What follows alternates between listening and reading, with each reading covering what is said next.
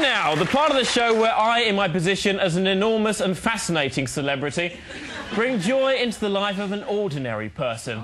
This week, I met a woman who works in Essex. I'd like to introduce you to a woman named Hazel. Hazel is only 34, but to look at her, you'd think she was a woman in her late 50s. Not because she doesn't moisturise or because she spends all her money on sunbeds and hard drugs, but because she works here at Truck World. Uh, Truck World is a place for drivers to come and sleep here in the hotel or to sleep in the car park that we provide with security. And I'm just like the receptionist that works here and helps them and gives them a little bit of fun while they're here. Tell me about some of the problems you have to deal with day to day. Um, they can be very sort of suggestive sometimes and smutty. drivers. Yeah, the drivers when they kind of uh, come in. And um, I just won't entertain that at all. You shouldn't have to. No, but that's men for you. That's We, typical we're gonna, men. we're going to end this. We're going to end this today. Okay. then. No smut.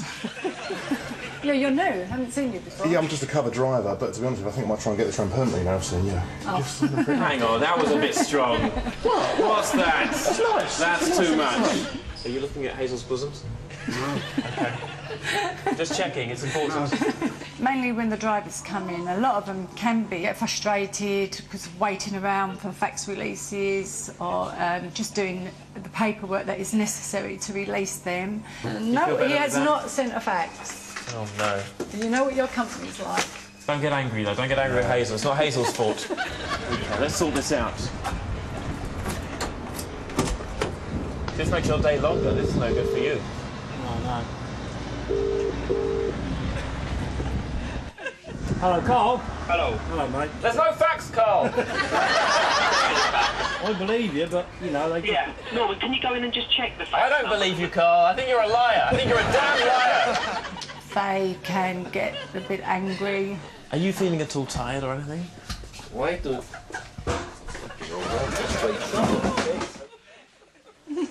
A shocking thing has happened. We were threatened by a trucker. He, he, he grabbed the camera and sort of shook it a bit. Do they? Yeah. Don't surprise me.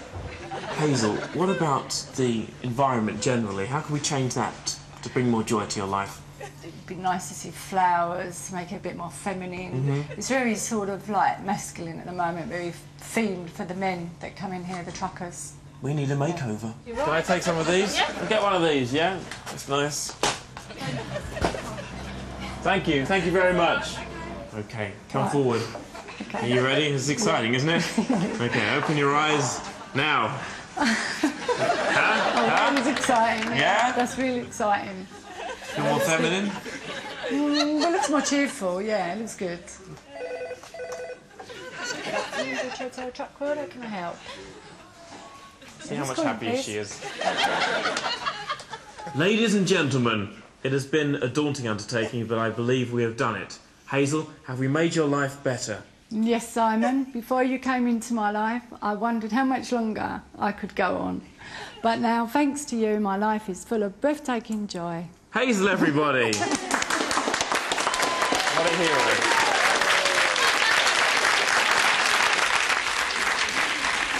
What a wonderful man.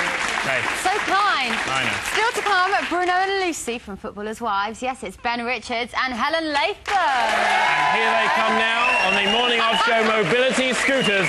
We'll see you right after this break.